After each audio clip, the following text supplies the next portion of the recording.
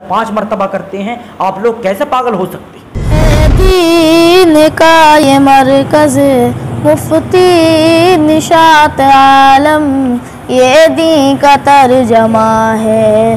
मुफ्ती निशात आलम, इनकी फ़िक्र तो देखो, इनकी तड़प तो देखो।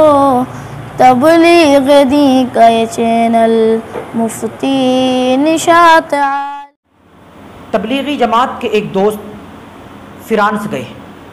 वहाँ वो वज़ू कर रहे थे कि एक शख्स उनको बड़ी गौर से देख रहा था।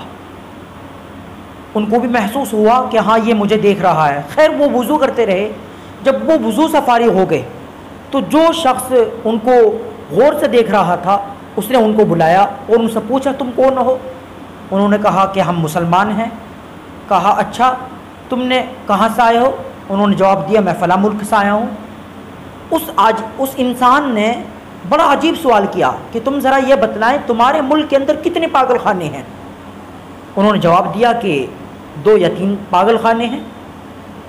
तो वो कहने लगा कि, तुमने जो किया है, ये क्या किया है? ये हमने वज़ू किया है, और तुम दिन में कितनी मरतबा करते हो?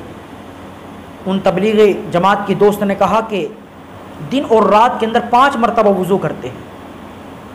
वो शख्स कह रहा था, असल में मैं यहाँ पागलों के हॉस्पिटल का सर्जन हूँ और मैं ये तहकीक करता हूँ कि लोग पागल क्यों होते हैं? पागल होने की वजह क्या है?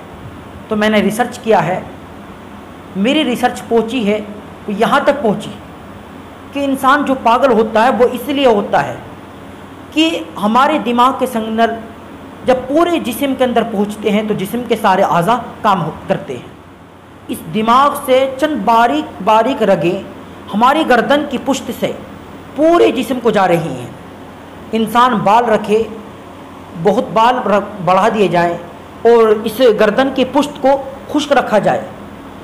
बसा अवकात ऐसा होता है कि वो उन रगों के अंदर खुश्की पैदा हो जाती है, जिससे रगें खिंचती हैं। इंसान का फिर दिमाग काम करना बंद कर देता है।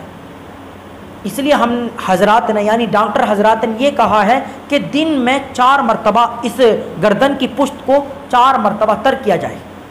लेकिन आप लोग दिन और रात के अंदर पाँच मरतबा करते हैं, आप लोग कैसे पागल हो सकते हैं? एक डॉक्टर एक गैर मुस्लिम डॉक्टर की रिसर्च, पूरी ज़िंदगी की रिसर्च एक मुस्तहब अमल पर ख़त्म हो जाती है। जब इंसान फ़राइज़ को, वाजिबात को और सुन्नतों को अपनाएगा, उनके अंदर कितनी हमतें होंगी? वीडियो को लाइक, शेयर और हमारे चैनल को सब्सक्राइब ज़रूर करें।